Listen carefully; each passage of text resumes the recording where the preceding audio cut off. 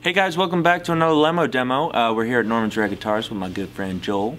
Uh, Joel does the repairs here, as you all know, and I'm sure he's worked on some of your guitars. Uh, he sets up my guitar all the time, and everybody's asking what I got in there, and it's all stock. but uh, today we got a, a Kay um, from the late 50s. Uh, this is a Barney Kessel with the cool Kelvinator headstock. Um, but Joel uh, worked on this guitar, um, you know, so he'll tell you more about it. Check it out.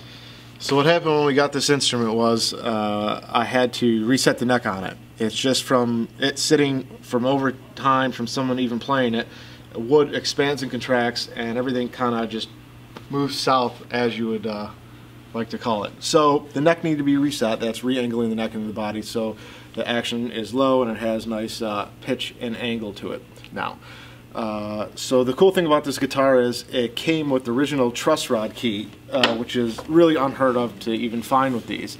And that goes right in the back there, and that's where you adjust the truss rod on this instrument. It's kind of unique. It's pretty cool. Yeah, something different.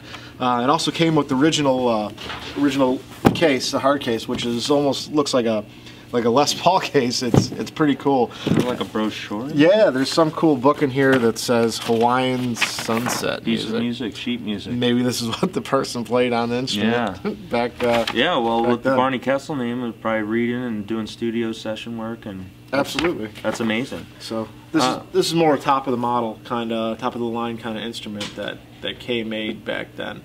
Uh, they also made another one that was a little bit bigger than this. Uh, this is cool because it's like a mini. Uh, Yeah. Yeah. Yeah, no, it caught my eye because the neck is, is an interesting feel. Like it just stays wide the whole time, but it, but it's fun, and uh, and it just has a the tone knob and the volume. Uh, we're gonna play it a little bit. This uh, tissue box kind of pickup uh, is a little noisy, so you might get a little buzz, but. Uh, Check out this guitar, it's pretty cool. And we're going through this Rickenbacker uh, electro amp. Uh, it's got a really cool um, tremolo system to it, something unique. But uh, it doesn't get very loud, but I'm sure you'll hear it well. Here we go. This is an uh, original piece that I have. That Joel is always stealing.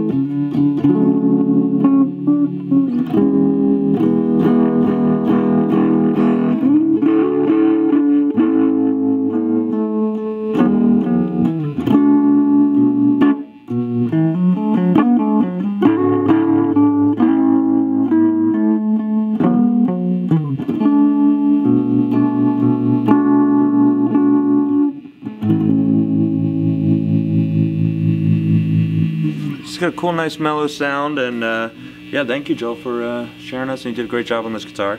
another note too: uh, tomorrow um, we'll be doing another Lemmo demo, and I'll be releasing my official uh, demo. Uh, I recorded this record all last year, and I'm pretty excited. So tune in tomorrow; it'll be live everywhere: Spotify, iTunes, and yeah, we'll be talking about it. Take care.